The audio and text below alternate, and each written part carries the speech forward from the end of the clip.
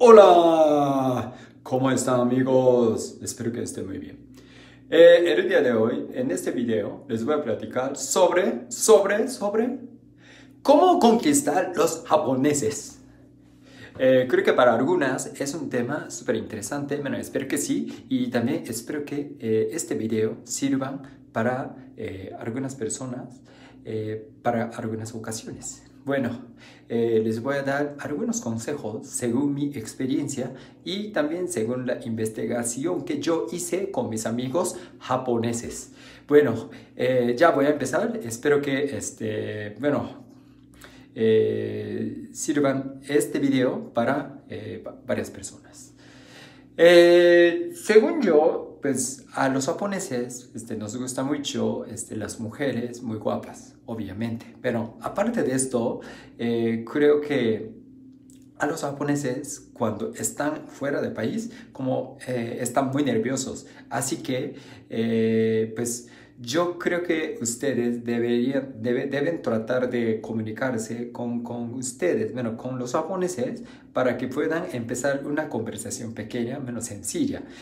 Por ejemplo, ¿cómo, cómo estás? ¿De dónde eres? ¿Y qué te gusta de, de, mi país? Bueno, en caso de, no sé, eh, de México, Colombia, Argentina o donde sea, pues también podrías preguntar qué te gusta de, de, de mi país y algo así. Pero para empezar, como podrías empezar una este, charla eh, muy sencilla, muy fácil y preguntarles y también así creo que podría conseguir eh, pequeña confianza con los japoneses.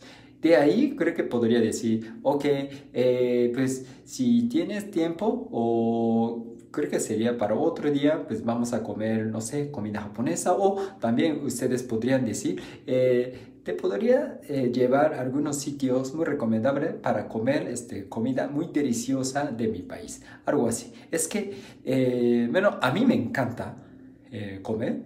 Y también a los japoneses son los comilones, así que eh, pues eh, si puedes llevar a algunos sitios donde ofrecen súper buena comida, pues obviamente sí van.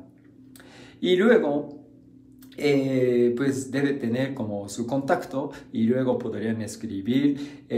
no sé, la verdad, no sé, no estoy seguro de que los, todos los japoneses tengan WhatsApp pero eh, lo más seguro es que los japoneses siempre usan el Line. Es una aplicación mensajería como tipo WhatsApp, pero casi todos los japoneses eh, lo usamos. O sea, es para eh, pues comunicarnos y también para, no sé, hacer videollamada y todo eso. Bueno, esta aplicación sirve para casi todos. La verdad, es súper útil. Y obviamente para, para ser amigos, eh, japoneses, creo que eso es creo que algo importante porque pues ellos a lo mejor pues no tienen WhatsApp y no tienen número, así que pues también tal vez tiene Instagram y Facebook, pero creo que para los japoneses sería más este, útil eh, comunicarse eh, pues utilizando Line.